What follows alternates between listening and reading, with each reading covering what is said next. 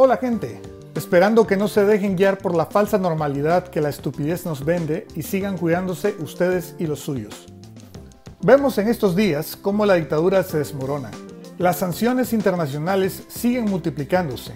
Enfrentan mucho malestar interno por el pésimo manejo que han hecho del COVID-19, que le ha costado y le sigue costando la vida a cientos de micas.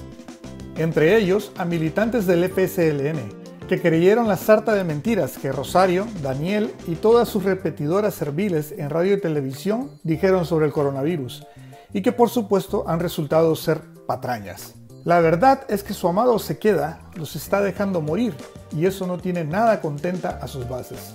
Por si eso fuera poco, la economía va para el carajo más rápido que lo que avanza la calvicie del dictador, o las arrugas de la vicedictadora. Ni con sus engaños de actividades, ni con sus brutales salsas energéticas, ni siquiera indolentemente cobrando de más por el material médico necesario para tratar el COVID, logran cuadrar las cuentas.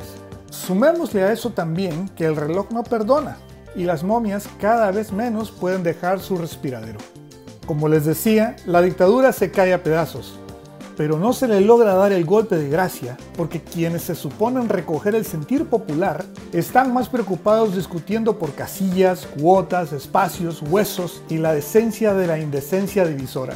El pueblo le brindó a la clase política tradicional la oportunidad de ser un factor de cambio, pero si esa invitación a sumar más bien la ocupan para restar, si van al right y quieren manejar, es quizás entonces hora de replantearse el valor que puedan tener en esta lucha que no es otra que la unidad necesaria para salir cuanto antes de la dictadura. Bueno, eso es todo por hoy. Cambio y chao.